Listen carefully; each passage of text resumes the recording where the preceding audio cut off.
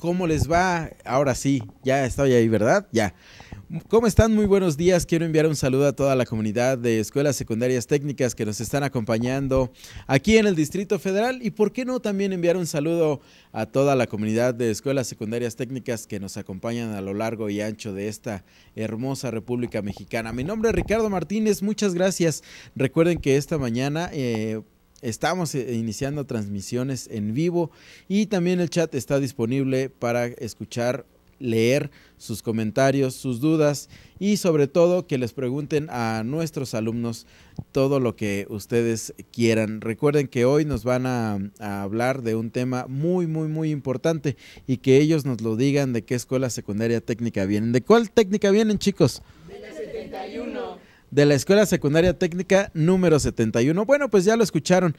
Técnica número 71. ¿Y de qué vamos a hablar esta mañana? ¿Quién me quiere decir?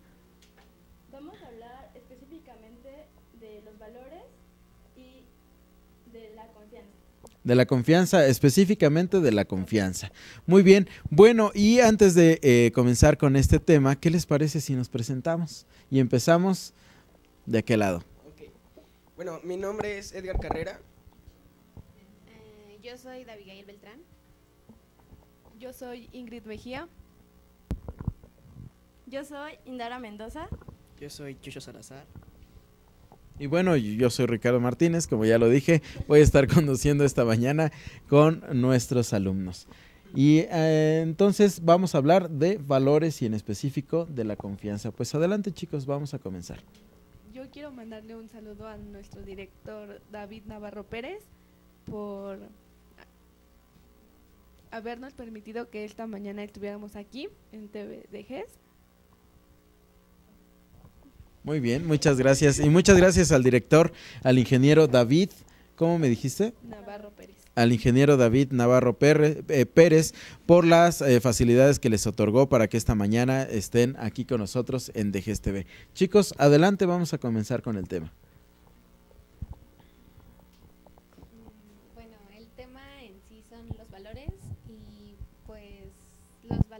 Son los principios que cada persona posee eh, dependiendo de los sucesos que le pasan a lo largo de su vida. Los valores se van aprendiendo a lo largo de la vida. Aunque en ocasiones las circunstancias cambian, nosotros tenemos que tener siempre presente los valores, ya que son fundamentales. Eh, los valores son muy importantes en nuestra sociedad, ya que sin ellos tal vez no tendremos ni un orden ni un propósito además es mejor para tener una mejor convivencia en cuanto a la sociedad y a lo que nos rodea. Es algo con lo que nuestros padres nos han enseñado desde chiquitos y pues es, tenemos que vivir, bueno, tener valores para toda la vida. ¿Qué pasaría? Les voy a preguntar, ¿qué pasaría eh, o qué ocurre cuando una persona no tiene valores? Cuando no tiene valores, deja atrás sus derechos y es más probable que cometa actos ilícitos.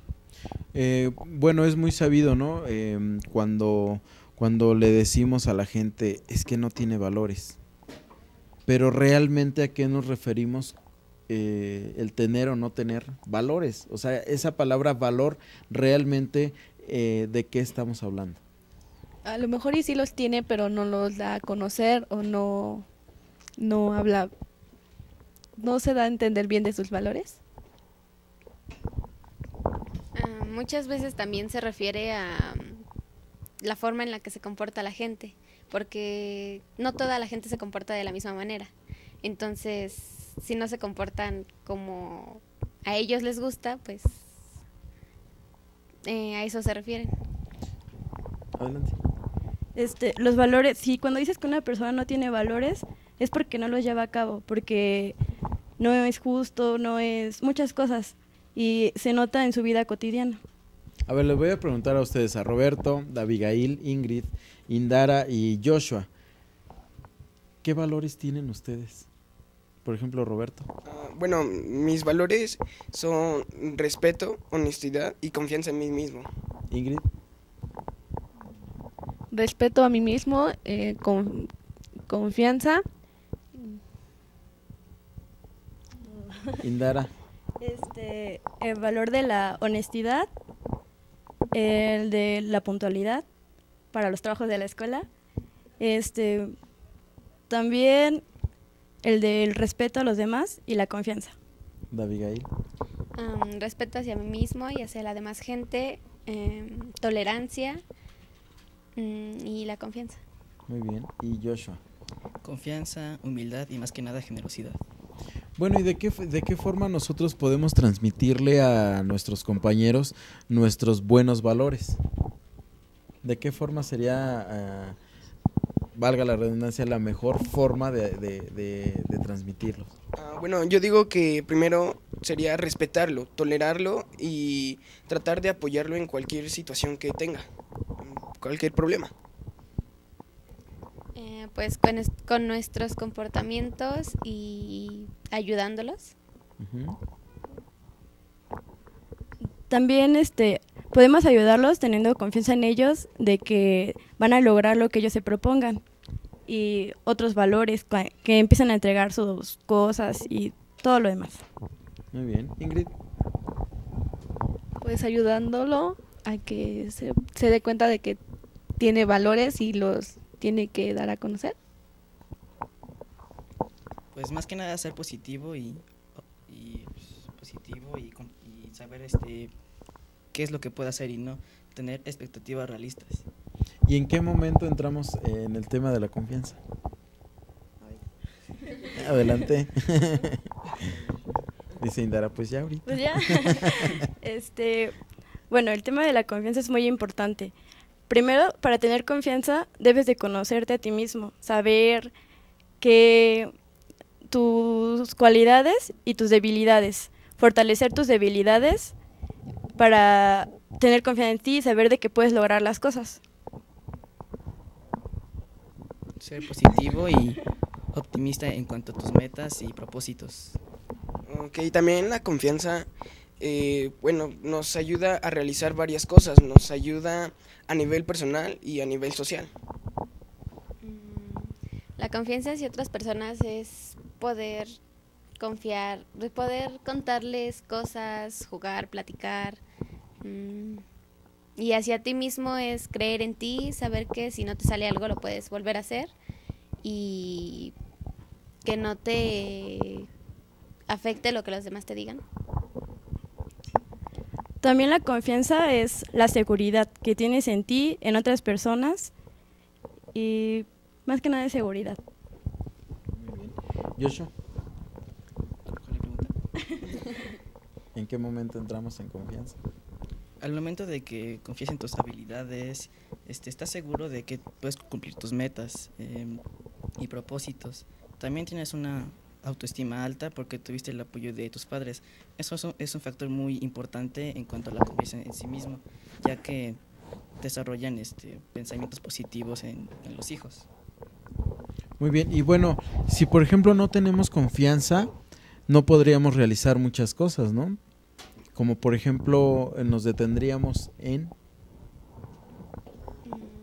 Bueno, nos detendremos a nivel escolar, no podríamos hacer los trabajos que nos pedirían las personas, nos pedirían las personas, eh, bueno, en este caso los profesores.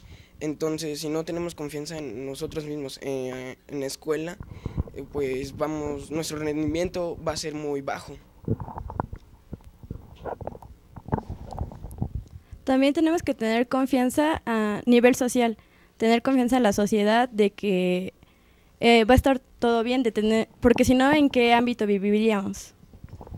Eh, la confianza también puede llevar a otras cosas. Por ejemplo, si una persona no tiene confianza en sí misma, puede sentirse tan sola al llegar al nivel de suicidio.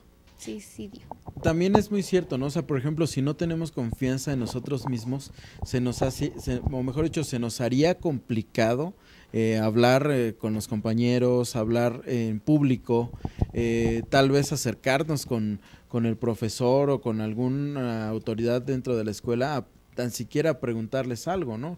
No tendríamos la confianza en, en decir, híjole, ¿cómo le hago? Porque no me sé expresar, no sé decir, no sé preguntarle a la gente. Y eso, eh, como lo decía Abigail, eh, em, nos lo enseñan desde casa. Si nos dan la confianza en casa, eh, es más fácil que nosotros podamos tener una mejor expresión.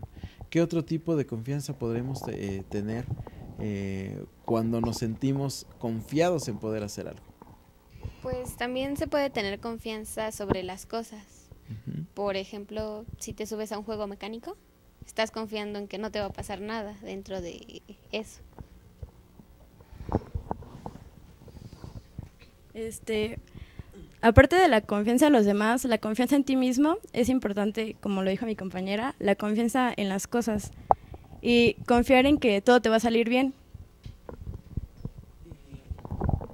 Si no te sale una vez, deberías intentarlo otra vez y otra vez hasta que te salga y sentirte bien porque esas veces que lo intentaste y te salió mal, tuviste el suficiente valor para volverlo a hacer y se te salió la primera, bueno, aunque no te haya salido. ¿En la escuela les enseñan valores? Sí, en la, escuela nos enseñan diariamente los valores, todos los profesores. ¿Cómo cuáles? Por, ejemplo, nos enseñan el de la puntualidad para los trabajos, de confiar en ellos, de saber que vamos a tener éxito en la vida. Abigail la tolerancia hacia otros compañeros, el que también es muy importante, tolerar y respetar. Porque tienes que aceptar a la demás gente como es y con todo lo que tiene. ¿En la calle ustedes creen que se aprende algún tipo de valor? El valor de la honestidad. Porque es muy importante. Si ves a alguien que se le cae el dinero, muchas personas ya lo vamos perdiendo. Si ves que se le cae el dinero, lo recoges y te vas y lo vamos perdiendo y otras personas sí se lo dan. El ceder el asiento a otra persona cuando vamos en el transporte público, ¿eso es tener eh, un valor? Sí, es también muy importante ese valor y también para los adultos o las señoras embarazadas, que luego hay personas que, por ejemplo, nosotros somos jóvenes y podemos ir parados más tiempo que ellos. Exacto. Bueno, eh, chicos, eh, tenemos eh, ya tenemos comentarios ahí en el chat, así que vamos a estar pendientes de lo que ellos, la gente que los está viendo, les quieren preguntar. Así que adelante, Alma, por favor. Así es, aquí está en la 69 Heli, en la 107 Ricardo. Tenemos ahí tres escuelas que no nos han dicho de qué escuela nos están viendo y la técnica 96 y nos dice Heli yo pienso que eh, los la confianza eh, se aprende con el ejemplo y la práctica. Y nos hace algunas preguntas para los chicos. Nos dice cómo se relaciona la confianza con los errores. Cómo relaciona la confianza un alumno hacia su profesor y la confianza en exceso es mala. Eh, yo pienso que la confianza en exceso sí es mala en algún momento porque no puedes confiar en todas las personas puede que algún día te salga, te, no confíes en esa persona, porque también es importante desconfiar en algunas ocasiones, porque esa persona te puede hacer algo, puede hacer algún daño. En la confianza tiene mucho que ver eh, el tipo de persona con quien te relaciones. Eh, la confianza con el profesor en este caso, pues sería en cada clase que tenemos la confianza de poderle contestar a algo que él preguntó o mm, hacerle alguna pregunta con la seguridad de que nadie se va a burlar. Bien, Roberto. Ah, bueno, la confianza sí a veces puede ser mala porque si no sabes con quién tratas y tienes mucha confianza en ella, pues te puede hacer daño. Pero en general la confianza a veces es buena. Ingrid.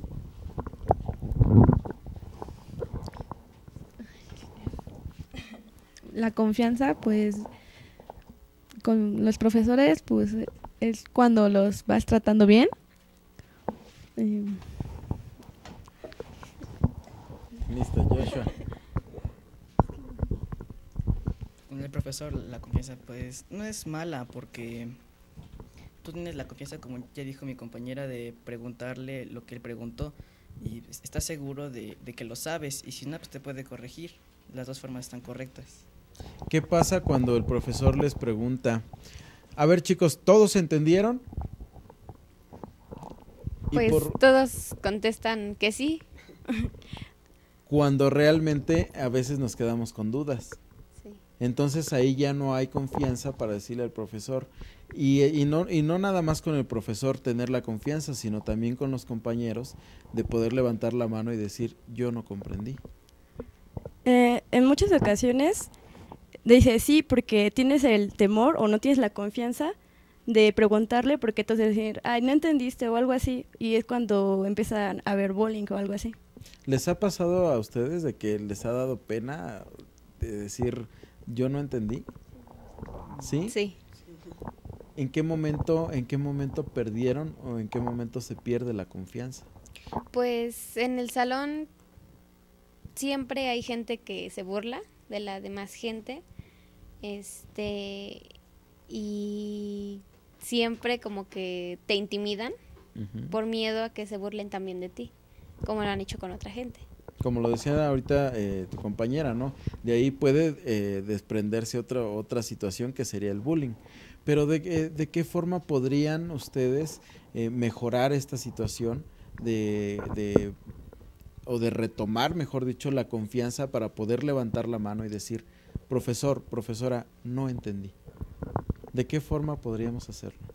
De tú conocer a todos tus compañeros y saber que tienes la confianza en ellos de que no te van a hacer nada, de que si no entendiste te pueden volver a explicar porque si no vas a ser ignorante, no vas a conocer el tema. O también tener la confianza con algún compañero o compañera y acercarse y decirle, ¿sabes qué? ¿Qué, pasa esto? No comprendí una de las partes que nos estaba diciendo el profesor y apoyarse también con los compañeros, yo creo que es importante, ¿no lo creen así?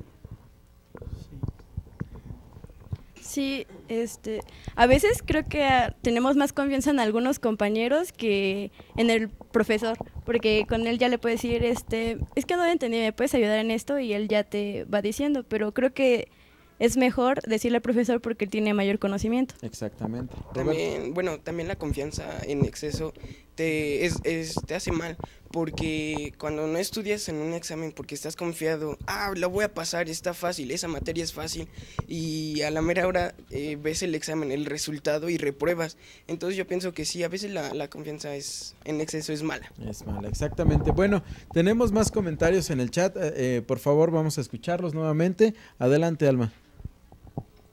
Así es, ya tenemos más comentarios en el chat. Aquí eh, está la técnica 11 presente, ya esperando también su programa. Y nos preguntan cómo es que una persona puede generar confianza y cómo puedes adquirir confianza en ti mismo. por los actos de cada persona, eh, yo creo que tiene mucho que ver las, la forma en la que se comporta la gente con otras personas. Si ellos son comprensivos y demuestran sus valores, tú tienes la seguridad de que puedes contarle algo. Eh, a veces en la confianza tiene mucho que ver los prejuicios, aunque en ocasiones son malos porque no siempre son lo que realmente es una persona. Puedes decir que esa persona es mala porque se viste mal, pero y no confías en ella por eso, pero realmente ella no es así. Muy bien. Joshua. Pues más que nada como que tomar riesgos. Porque no te das cuenta si, no sé, te engañan o algo así. Muy bien. Ingrid. Pues conocer bien con esa persona, hablar bien con esa persona y pues tenerle confianza. Cuando pues si realmente tienes confianza hacia ti mismo, tener confianza en esa persona que no va a contar lo que tú le estás contando. Muy bien, Roberto. Ah, más que nada la confianza se da cuando tú le hablas con respeto a una persona.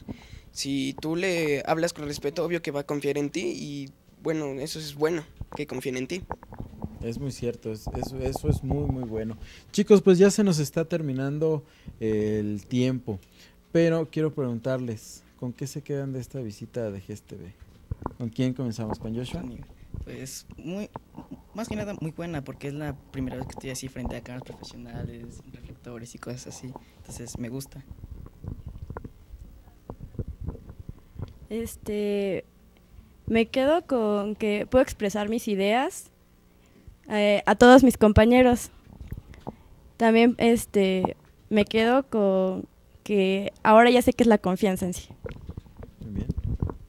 Pues lo que dijo mi compañero y pues que a- tener la confianza hacia nosotros mismos. Fue una experiencia pues interesante. Yo tampoco nunca había estado con cámaras y reflectores. Este, y pues sí me gusta. Muy bien, Roberto. Bien, yo me quedo con una grata experiencia, pues es mi primera vez y siento que no me fue tan mal. Y en conclusión del tema de valores, confianza, ¿cuál sería, cuál sería su, su, su conclusión? Roberto. Conclusión. ah, bueno, mi conclusión es que los valores son buenos, nos ayuda a ser mejor ciudadano y la confianza es algo que se- es necesario para una buena sociedad. Muy bien. David Gail. Eh, los valores son lo que te, mm, te reflejan como, per- la, como la persona que eres y la confianza es muy importante porque todo ser humano necesita tener la seguridad en algo o en alguien. Ingrid. Pues tenerlos siempre, bueno, llevarlos diariamente eh, con nosotros y pues hablar de lo que realmente sentimos. Ujú. Indara. Este, los valores son fundamentales para la vida y para la convivencia en la sociedad. Muy bien. Joshua. Pues mi, mi conclusión sería que la confianza es algo muy importante porque tienes que, que tenerlo más como autoestima porque tienes la seguridad en tus habilidades, en lo que puedes hacer. Muy bien. Bueno, pues eh, ya, es- ya escucharon a, a nuestros alumnos que nos visitaron esta mañana y ellos vienen de la Escuela Secundaria Técnica número 71. 71. Bueno, y ellos nos hablaron acerca de valores y en específico de la confianza. de la confianza. Bueno, chicos, antes de irnos, eh, como es costumbre aquí en DGS TV, eh, envíen sus saludos a quien ustedes quieran. ¿Con quién empezamos? ¿Con Joshua? Adelante. Pues a mi mamá Raquel Silvia porque está ahorita en Cancún y no la he visto en dos semanas. Entonces si ve esto, pues hola. Este, a mi mamá que me dejó en la mañana. A mi papá, que no lo he visto en sé, ocho meses, pero yo sé que lo va a ver. Este, y un saludo para el grupo Tercero H. Muy bien. Eh, para mis papás, Mercedes Coaxiloa y mi papá David Beltrán, por haberme dejado venir. Y al salón tercero G.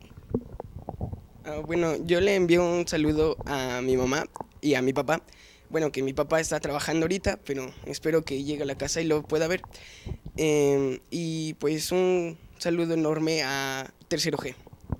Muy bien. Indara nuevamente. Este, bueno, a mi papá también. Y un saludo a la profesora Leslie de Formación Cívica y Ética. Muy bien. También para, para agradecerle que ella la- los acompañó, los preparó esta mañana.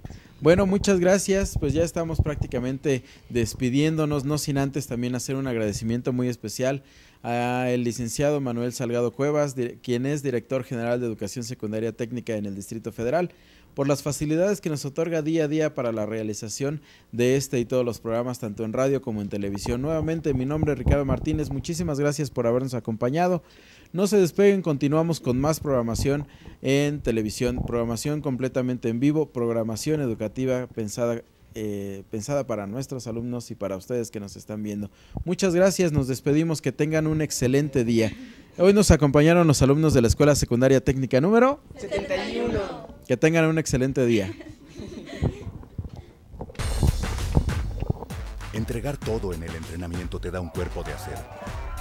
Leer te permite tener una gran estrategia para dirigir al equipo hacia la victoria. What matters is in your mind, man. Lee 20 minutos al día.